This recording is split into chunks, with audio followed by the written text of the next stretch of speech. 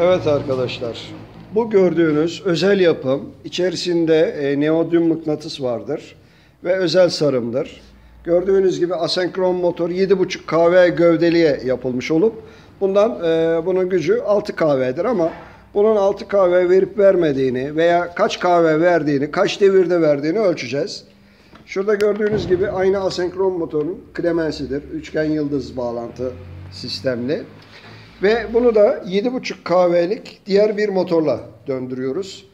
Bakınız şu panodan da çektiği akımları ve amperi, voltajı göreceğiz.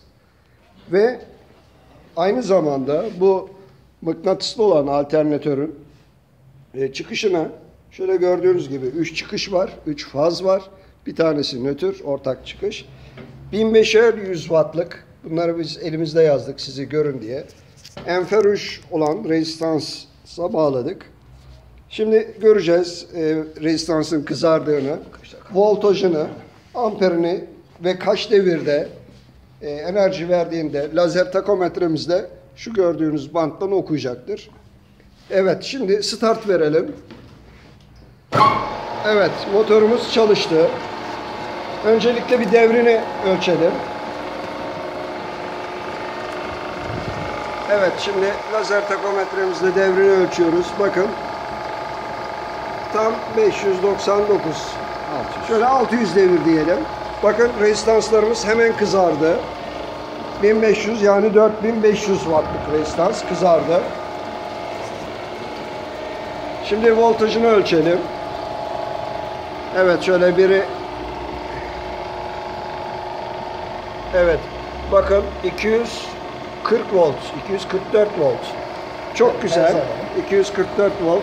Şimdi bir de frekansını ölçeceğiz hertz olarak. Bakın 60 hertz. Çok güzel. Bu devir biraz daha düşerse 55 hertz'e düşecektir. Şu anda 4500 wattı çok güzel yaktı. Fakat bunun maksimum gücü 6 kW ama tabi 5 kW olarak sınırlayalım. 500 devirde 4,5 kW'yi çok güzel yaktığını gördük. Bu fazla arası 380'de çalıştırıyor. Ha, ayrıca daha önceki çekimde de e, gösterdiğim gibi normalde trifaze başka bir 7,5 kW'lik şu motoru da çalıştırmıştır. Onun da videoları vardır. Çok güzel bir çalışma olur. Burada emeği geçen tüm arkadaşlara da teşekkür ediyoruz.